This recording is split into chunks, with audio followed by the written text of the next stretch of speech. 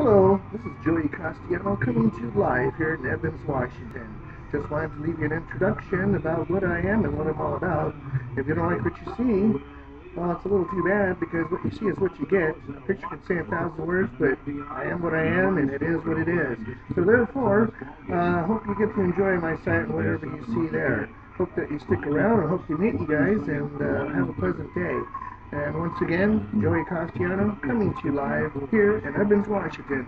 Now back to you.